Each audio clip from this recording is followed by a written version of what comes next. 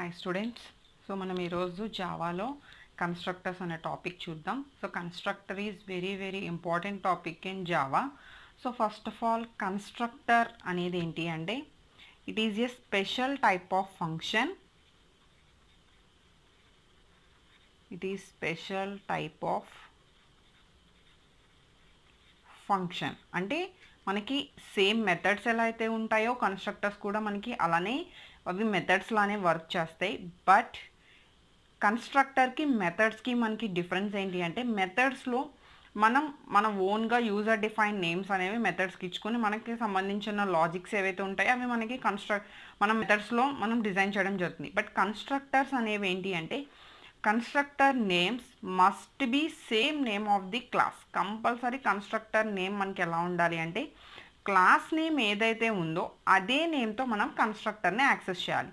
కన్స్ట్రక్టర్ని ఎప్పుడు ఎలా యాక్సెస్ చేస్తాము అంటే a constructor is invoked a constructor is invoked whenever object is created whenever object is created a constructor is invoked or a constructor is called సో method కాబట్టి మనం method calling అంటాం కాబట్టి ఈ కన్స్ట్రక్టర్ అనేది ఎప్పుడు కాల్ అవుతుంది అంటే మనకి ఆబ్జెక్ట్ ఎప్పుడు క్రియేట్ అవుతుందో అప్పుడు ఆటోమేటిక్గా మనకి కన్స్ట్రక్టర్ అనేది కాల్ అవుతుంది. So next one constructor name is constructor constructor name is same name as class name so మనం క్లాస్ నేమ్ ఏదైతే తీసుకున్నామో సేమ్ అదే నేమ్తో మనం కన్స్ట్రక్టర్ని నేమ్తో సేమ్ నేమ్తో డిక్లేర్ చేయాలి.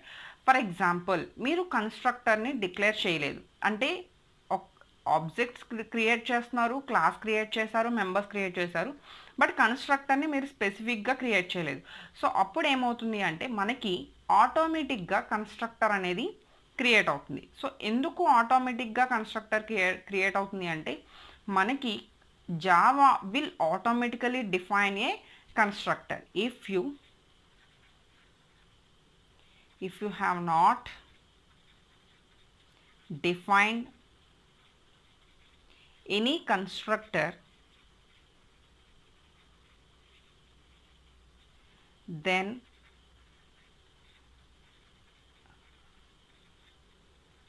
Java will automatically defined a constructor.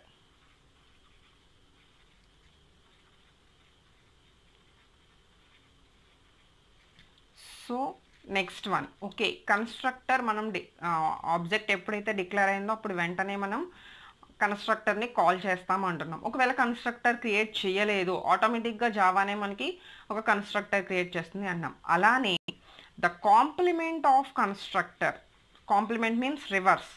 So the complement of the constructor is కన్స్ట్రక్టర్కి reverse ఎవరు అంటే destructor destructor the complement of the constructor is destructor so constructor and destructor మనం ఎప్పుడైతే మెథడ్ ఆబ్జెక్ట్ స్టార్ట్ అయ్యేటప్పుడు మెథడ్ని call చేస్తున్నామో దాన్ని మనం constructor అంటున్నాము. ఎప్పుడైతే ఆబ్జెక్ట్ క్లోజ్ అయ్యేటప్పుడు వర్క్ కంప్లీట్ అయిపోయి టాస్క్ కంప్లీట్ అయిపోయేటప్పుడు మనం యాక్సెస్ చేస్తున్నామో దాన్ని డిస్ట్రక్టర్ అని చెప్పి అంటున్నాం. So next important points Local objects are created. When their block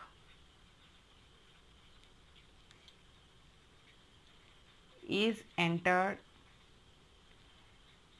and when the block is left destructor is invoked so బ్లాక్లో ఎంటర్ అయ్యేటప్పుడు మనకి లోకల్ ఆబ్జెక్ట్స్ కన్స్ట్రక్టర్తో యాక్సెస్ అయితే అలానే డిస్ట్రక్ట్ మనం ఎప్పుడైతే బ్లాక్ నుంచి లెఫ్ట్ అవుతామో అప్పుడు మనకి డిస్ట్రక్టర్స్ అనేవి యాక్సెస్ అవుతాయి. సో కన్స్ట్రక్టర్స్లో మనకి ఎన్ని టైప్స్ ఆఫ్ కన్స్ట్రక్టర్స్ ఉన్నాయి అంటే మనకి టూ టైప్స్ ఆఫ్ కన్స్ట్రక్టర్స్ ఉన్నాయి.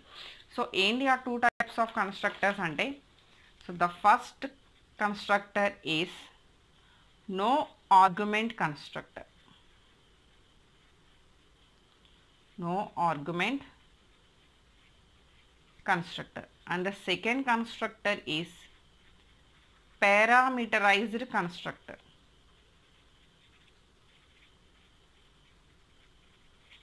So మనకి two types of constructors no argument constructors అంటే మనం కన్స్ట్రక్టర్స్కి ఎటువంటి వాల్యూస్ పాస్ చేయం. పారామీటరైజ్డ్ కన్స్ట్రక్టర్స్ అంటే కంపల్సరీ మనం కన్స్ట్రక్టర్కి వన్ ఆర్ మోర్ వాల్యూస్ని పాస్ చేస్తే మనం దాన్ని పారామీటరైజ్డ్ కన్స్ట్రక్టర్ అంటాం.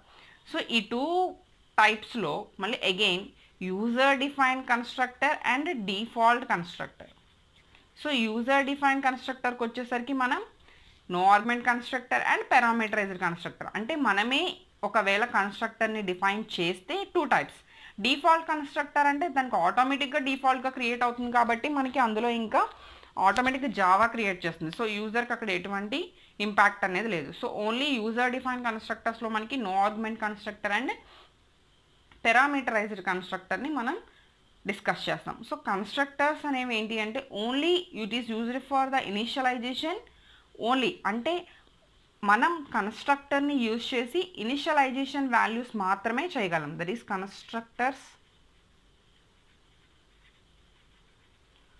are only used for this is very very important point only used for initialization it is not used for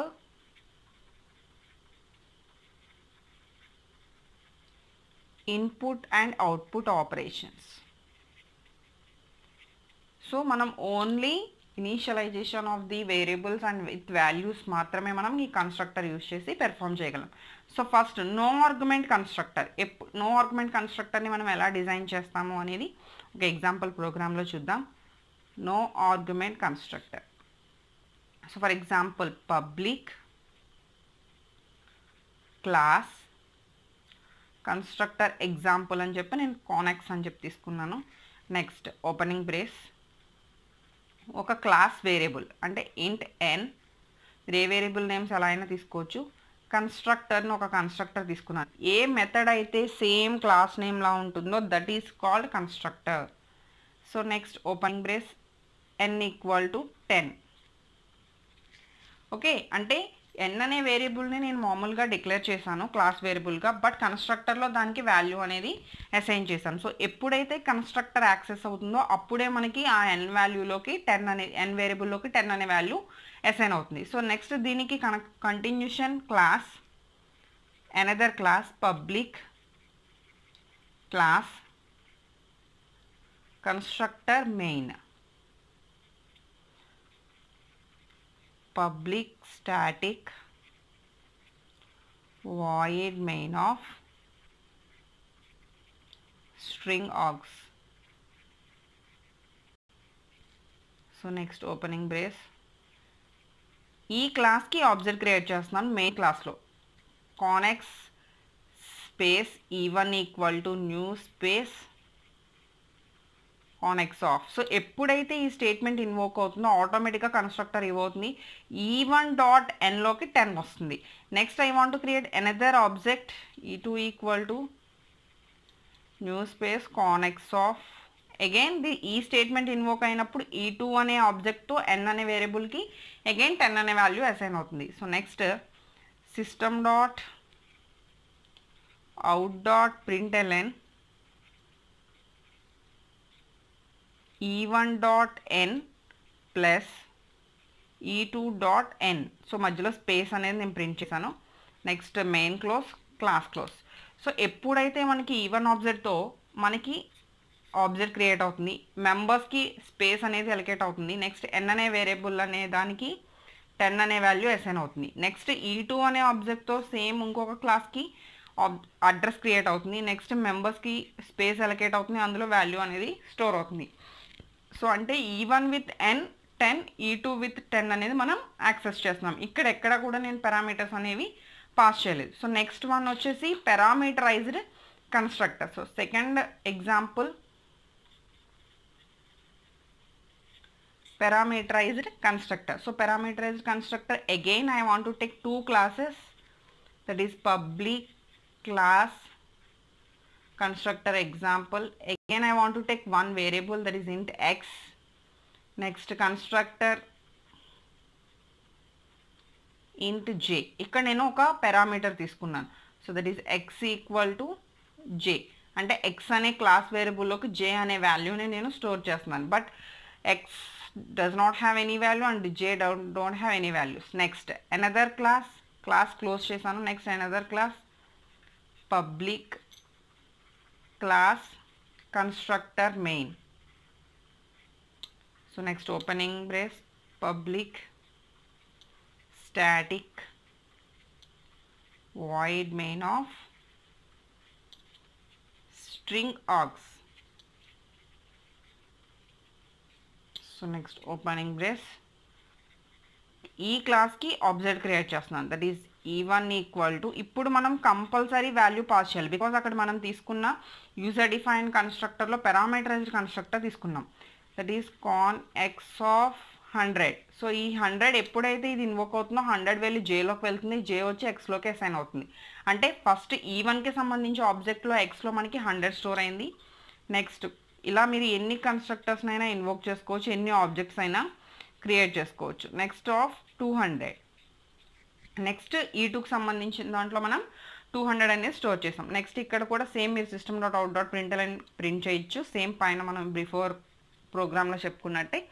Next close main close and main method close and class close so ఇలా ఏంటంటే మనం parameterized constructor and no argument constructor so ఇలా two types of constructor మనం user defined కన్స్ట్రక్టర్లో చూసాం the next topic is destructor so డిస్ట్రక్టర్ని కూడా మనం ఎలా డిక్లేర్ చేయాలి? దాని యొక్క డెఫినేషన్ ఏంటి అనేది మనం నెక్స్ట్ క్లాస్లో చూద్దాం.